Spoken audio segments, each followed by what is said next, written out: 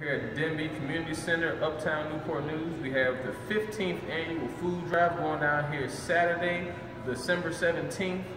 We have right here Congressman Sharon Scott. Councilwoman. Councilwoman Sharon Scott, my apologies. And um, she'll be giving you a little more details about it. Yes, this is a five-day event. It's actually starting on Wednesday with a spay and neuter clinic at 9 o'clock from 9 to noon on Wednesday. You have to bring seven non-perishable food items to have your pet uh, seen at the at the PETA clinic.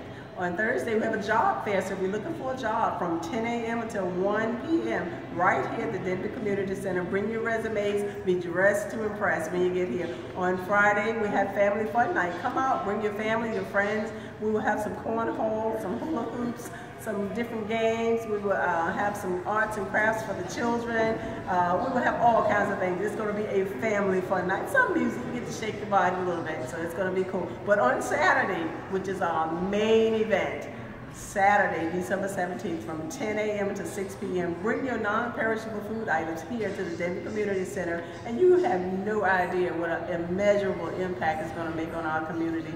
We have so many people who are actually working poor in our city and they deserve to feed their families for the two weeks that their kids are out of school uh, for the holidays. So we encourage you to be here and then the culminating event is on Monday where we actually donate everything you donate to us back to the community, to the deserving families who are here to feed their families. Be here, bring your um, ID, your Newport News ID, valid, not expired ID on Saturday, on Monday, I'm sorry, on Monday to receive any of the non-perishable food items that we have. And we will also have a turkey to help you complete your holiday meal.